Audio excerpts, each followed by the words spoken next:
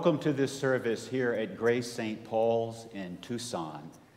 And a special welcome to all who are listening in around the diocese in other parishes in other towns and cities, and to those beyond the state of Arizona who are with us in spirit on this Sunday.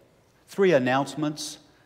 There is now a Zoom Sunday school that has been organized by Jessica Swift and Madeline Caldwell. It meets each Sunday at 9:15 on Zoom.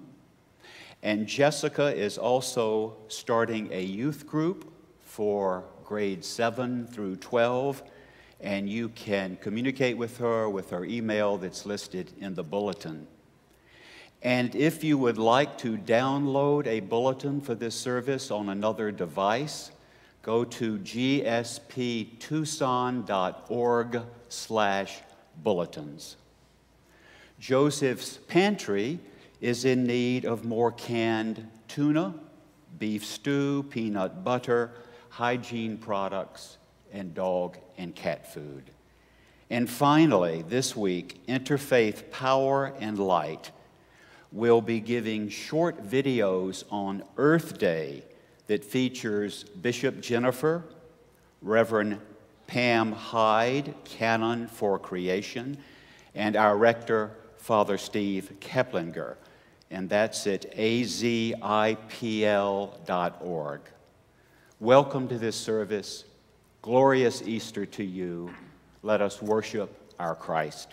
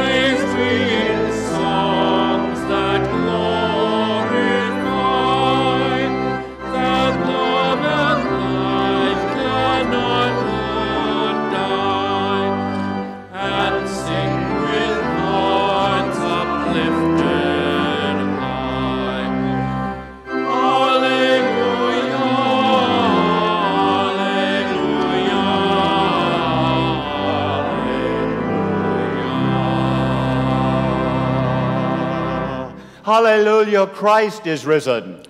Christ, Christ is, is risen, indeed. indeed. Hallelujah. This is the day to walk in the light. This, this is the day to share signs of peace. This is the day to believe what we have not seen. This, this is the day to remember what we cannot touch. Come, let us celebrate the God of resurrection and life.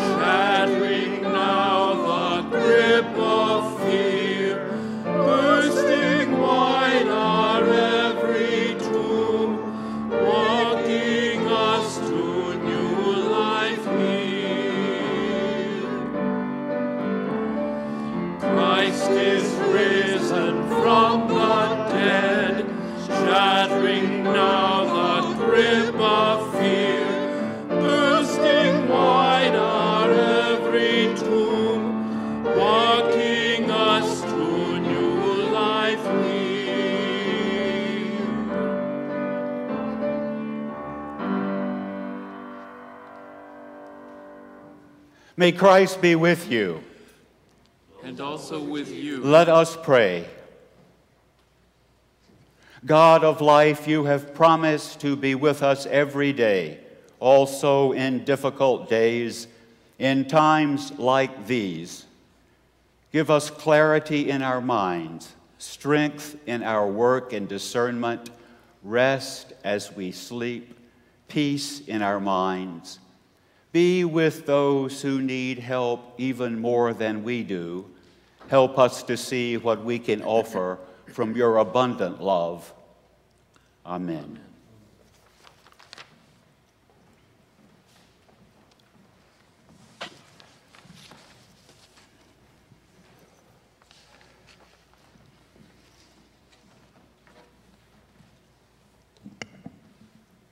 A reading from Acts. Peter, standing with the eleven, raised his voice and addressed the crowd You that are Israelites, listen to what I have to say. Jesus of Nazareth, a man attested to you by God with deeds of power, wonders, and signs that God did through him among you, as you yourselves know. This man handed over to you, according to the definite plan and foreknowledge of God, you crucified and killed by the hands of those outside the law. But God raised him up, having freed him from death, because it is impossible for him to be held in power. For David says concerning him, I saw the Lord always before me, for he is at my right hand, so that I will not be shaken. Therefore my heart was glad and my tongue rejoiced. Moreover, my flesh will live in hope.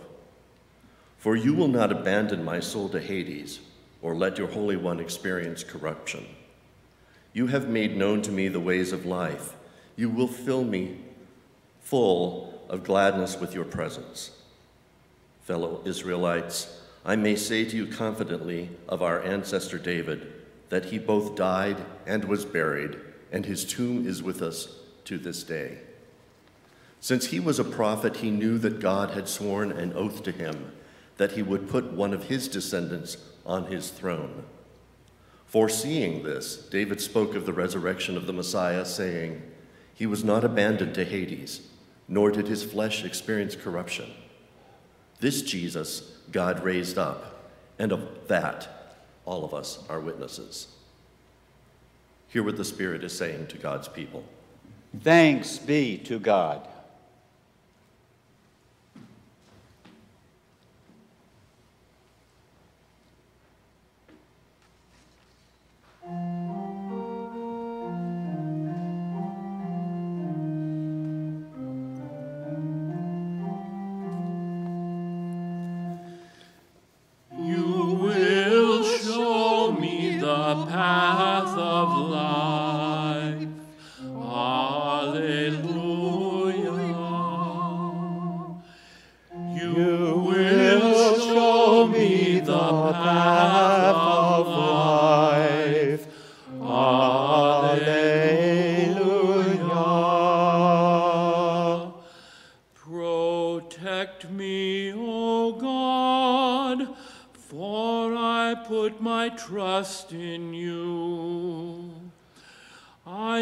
To the Holy One, my God.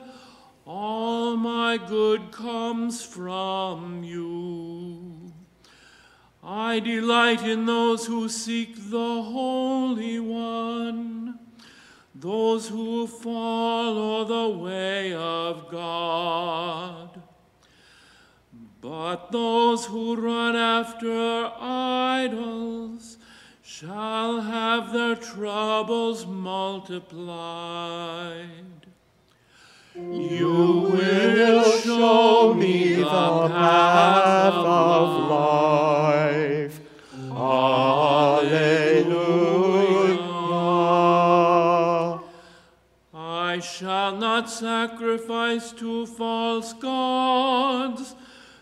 Shall I speak their names with my lips.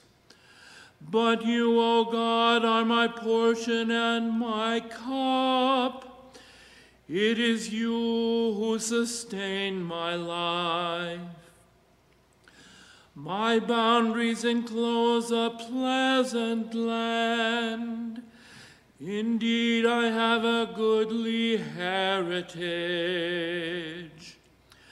I will bless the one who gives me counsel. My heart teaches me night after night. You will show me the path of life. Alleluia. I have set the Holy One before me. With God at my side, I shall not fall. My heart therefore is glad, and my spirit rejoices. My body also shall rest in hope. For you will not abandon me to the grave, nor let your beloved suffer death. You will show me the path of life. In your presence is fullness of joy. In your hand are the pleasures that endure. You will show me the path of life. Alleluia.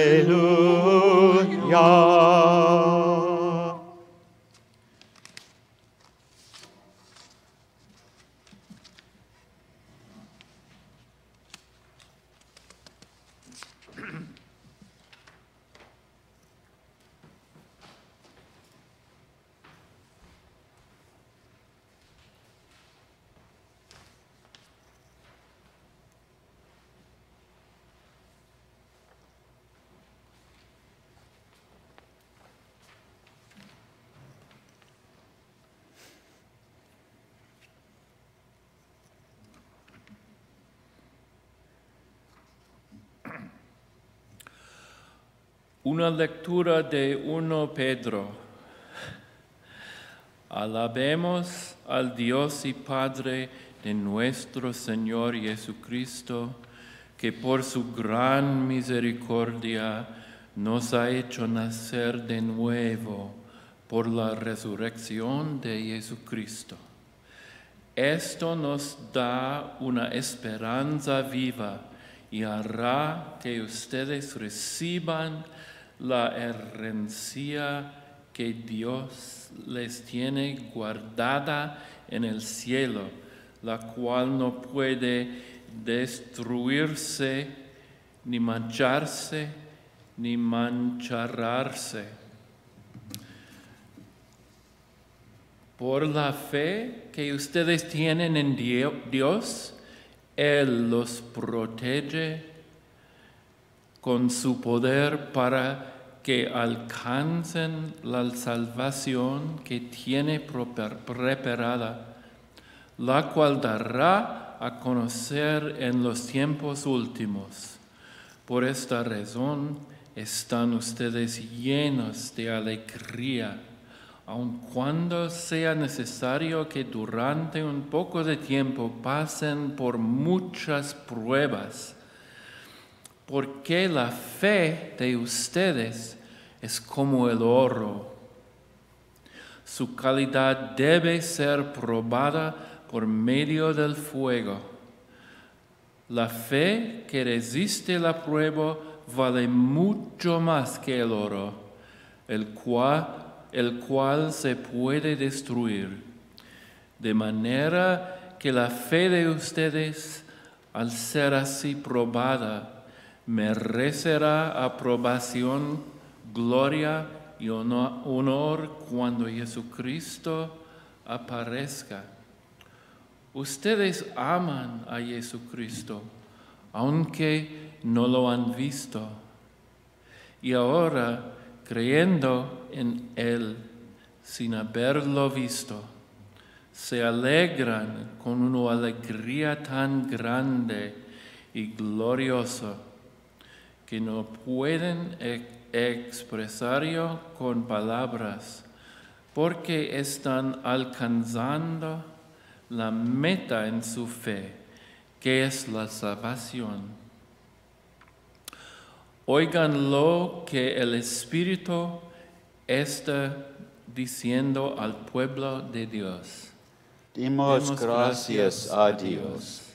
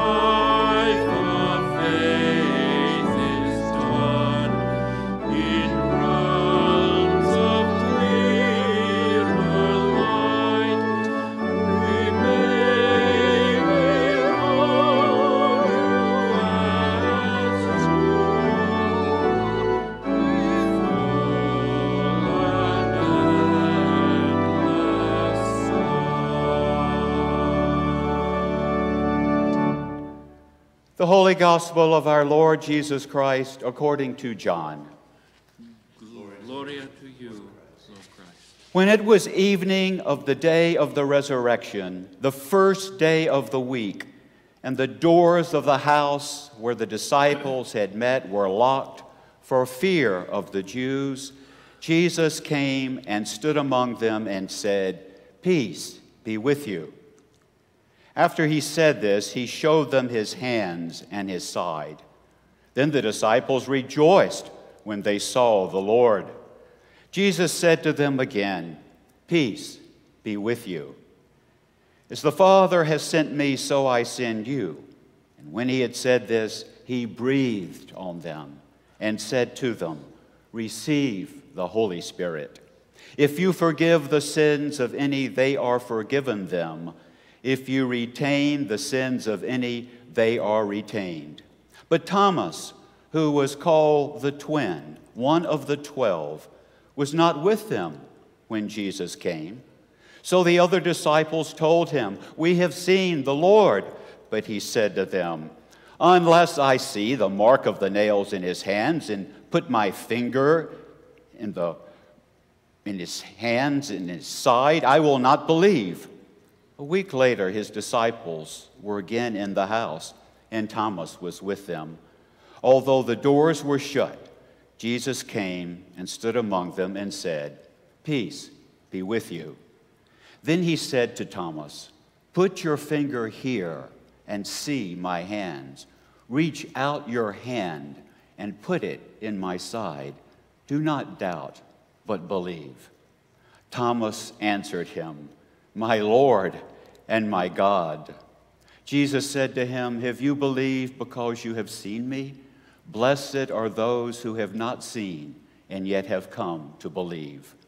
Now, Jesus did many other signs in the presence of his disciples, which are not written in this book, but these are written so that you may come to believe that Jesus is the Messiah, the Son of God, and that through believing you may have life in his name.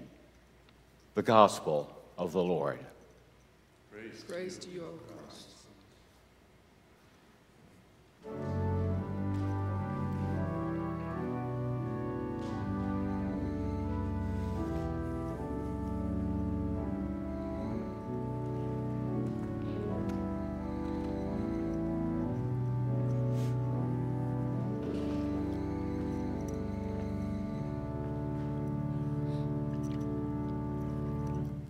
Please be seated, little congregation.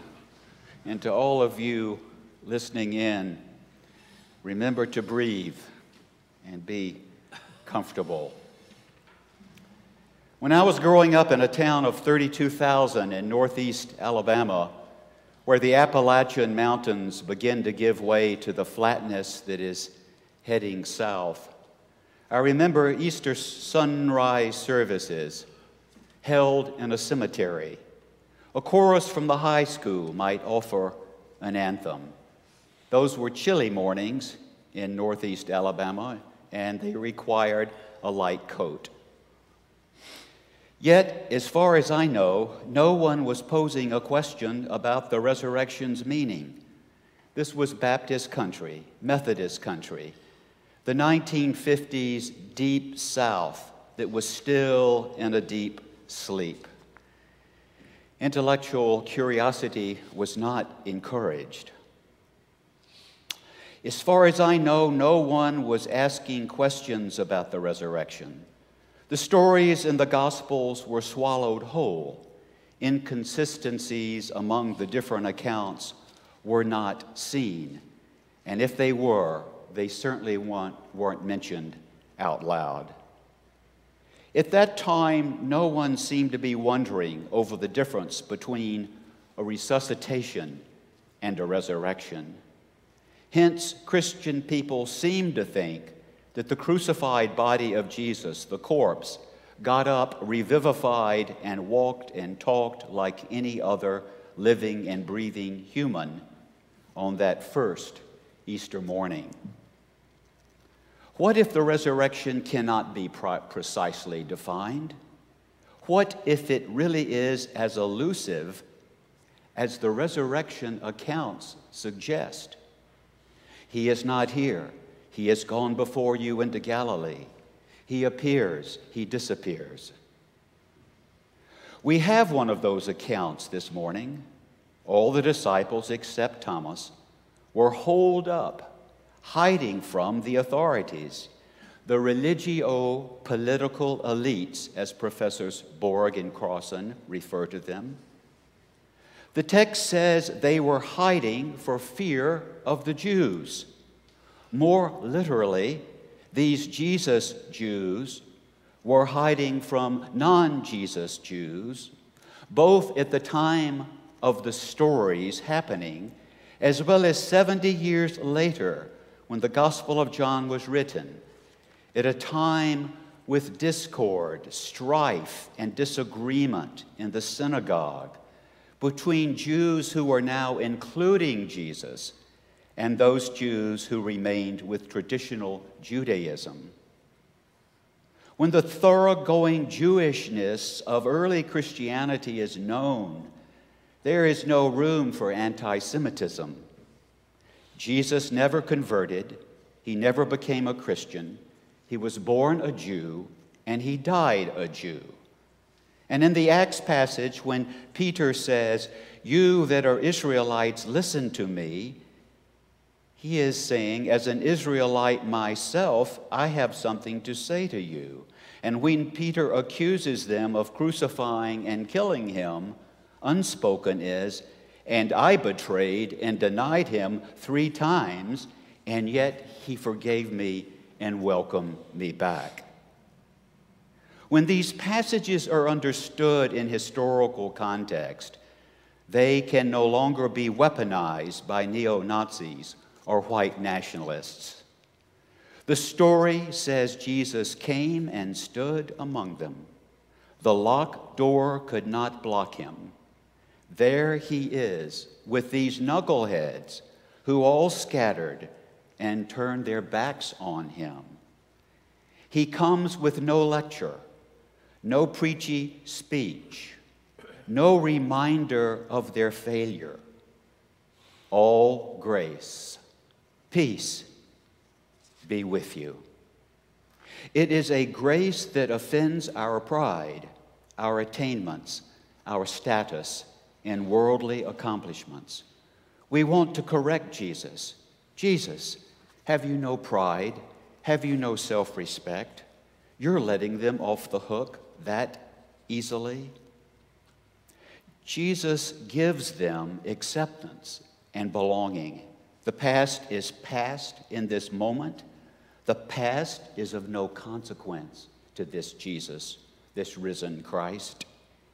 And he says it the second time Peace be with you.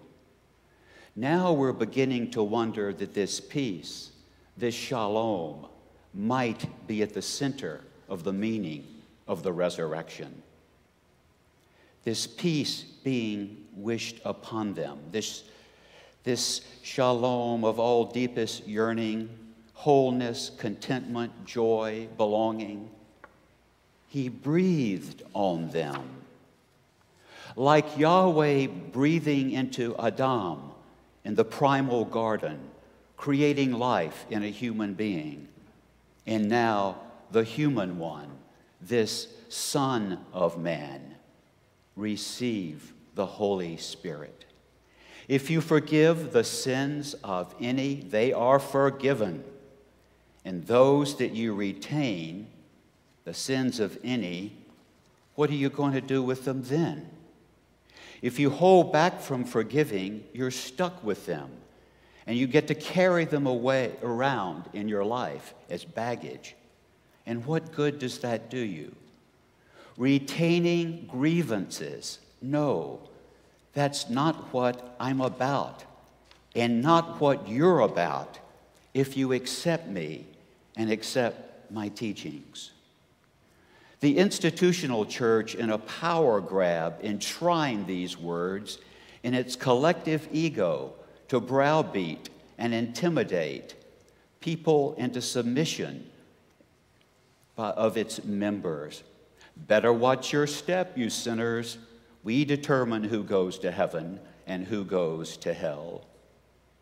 So, this commissioning of Jesus' followers is saying there's a lot of forgiving that needs to be done. Get busy. Not to forgive is to live with deadness, because that is the bitterness of the past.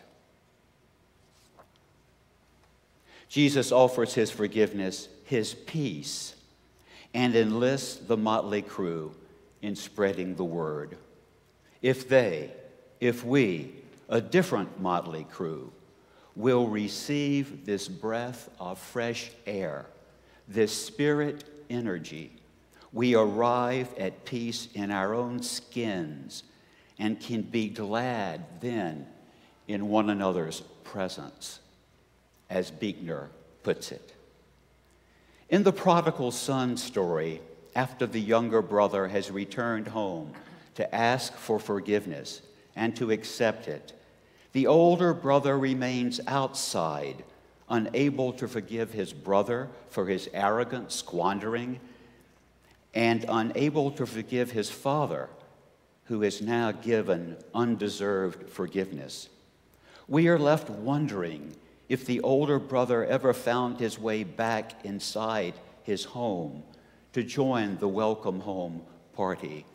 We see him, we see ourselves in him, in our own arrogance by insisting that the guilty get their just deserts. We know this kind of holding back, a withholding of ourselves, a reservation of trusting fully in this Son of Galilee. Now we wonder if the older brother will find his way back, the way of sloughing off bitterness and wounded pride. For not to forgive edges out the peace of Christ. With forgiveness for everything, everyone, anybody, space is open and prepared. It is good that we don't know the ending of that story, and we don't know if it became a happy ending with family harmony.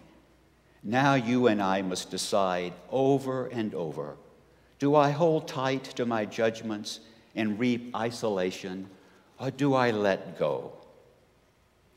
For whatever reasons, Thomas was not around for this meeting on Easter, the first Easter.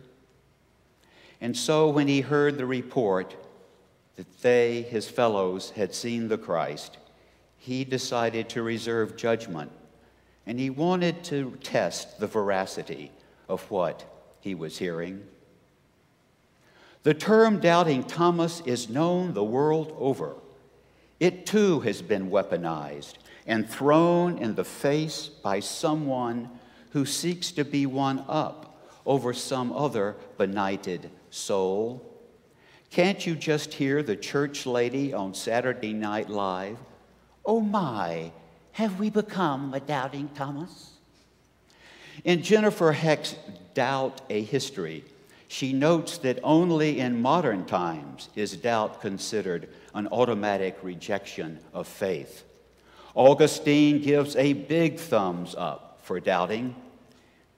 If he doubts, he thinks. If he doubts, he knows he does not know. If he doubts, he judges he ought not to give a hasty assent. It was the later authoritarianism of the church in the Middle Ages that shut down questioning and doubting. And so many of us have felt that legacy of institutional bullying and intolerance of questioning in faith groups all across the spectrum. Fred Buechner reminds us doubts are the ants in the pants of faith. They keep it awake and moving. A week later, his disciples were again in the house, and Thomas was with them. Jesus stood among them for this second time, and then for the third time, he repeats, Peace be with you. Put your finger here, see my hands, put your hand in my side. Do not doubt, but believe. Thomas has his wow moment, his epiphany. He knows this is the one. Now he knows. There comes a time to doubt doubt. Being a doubter can be a badge of prestige, another ego trap. And it goes down well in many social settings and is far more acceptable to be a doubter than a believer. And doubting can become something that one worships within oneself, an end in itself, with its strong taint of pride. Jesus does not shame Thomas for having doubted. Doubting at its best is a tool and an aid in the journey towards wholeness, in the journey of becoming who you were created to become. The time has now come for Thomas to take the next step. Believe, not the intellectual kind of accepting dogma and creeds, but the heartfelt giving over of saying yes to the Christ who is right before him, right in his face. In this story, belief is joined with seeing and touching. When your seeing opens you up to feeling touched and moved beyond your present limitations towards wonder and amazement. We are all touching less these days in the physical sense. The hugs, the pats on the back are now postponed until a return to normal, the time past the pandemic. So there's a certain fasting from these familiar ways of connecting and being for all of us. So let us use our seeing to expand our frame to see in the Christ way that leads to forgiveness, acceptance, and belonging, to see the teachings more deeply that take us into what Richard Rohr calls a larger identity. Thomas could have said no and not be like the single grain of wheat that lets go of its shell. Then he would not have allowed himself to be cracked open. A poem from another faith tradition that says a lot about resurrection. A poem by Rumi. Inside this new love, die. Your way begins on the other side. Become the sky. Take an axe to the prison wall. Escape Walk out like someone suddenly born into color. Do it now. You are covered with thick cloud. Slide out the side. Die and be quiet. Quietness is the surest sign that you have died. Your old life was a frantic running from silence. The speechless full moon comes out now.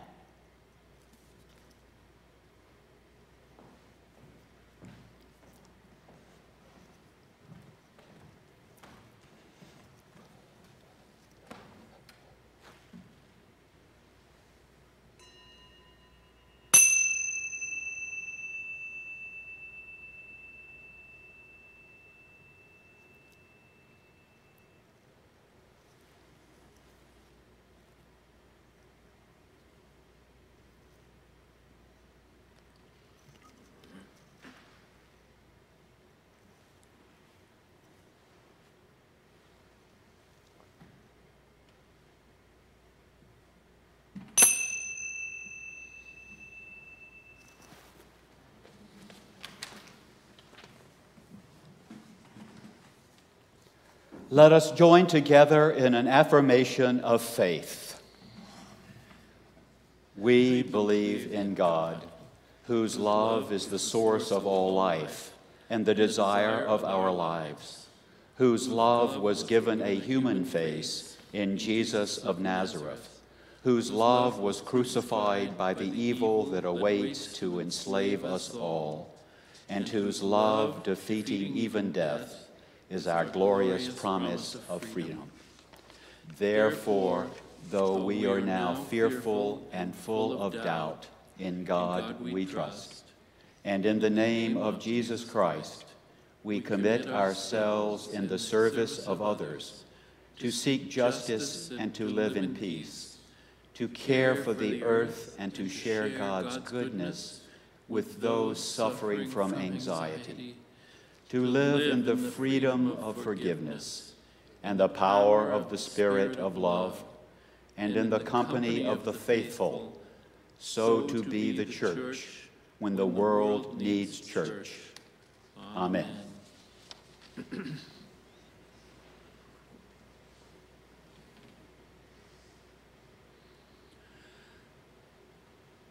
Living Christ, you are risen from the dead you are stronger than death.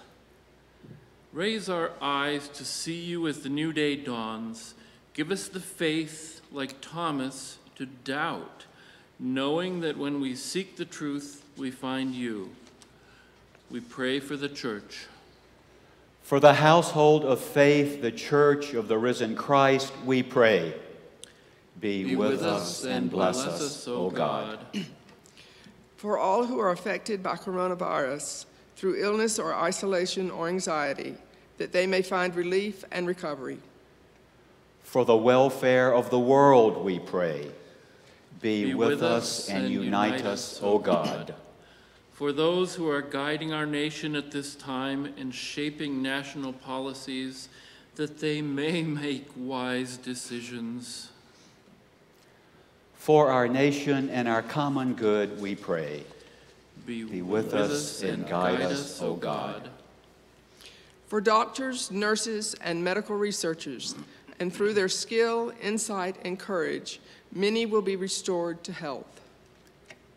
For those who care for us, we pray. Be, Be with us and help us, O God. For first responders, for those on the front lines and those who support them, we give thanks for their courage and pray for their safety.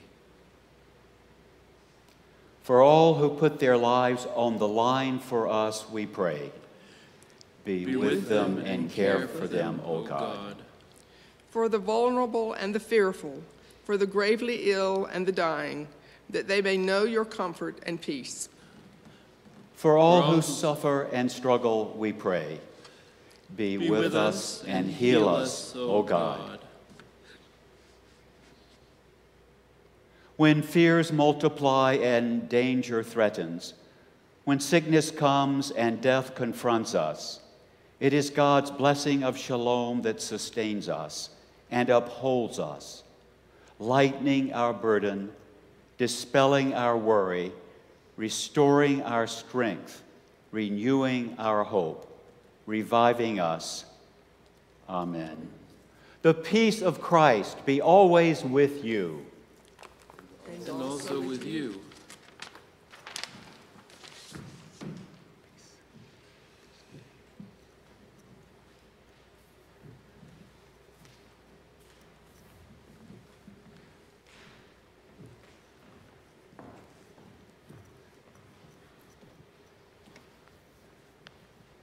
Peace be with you.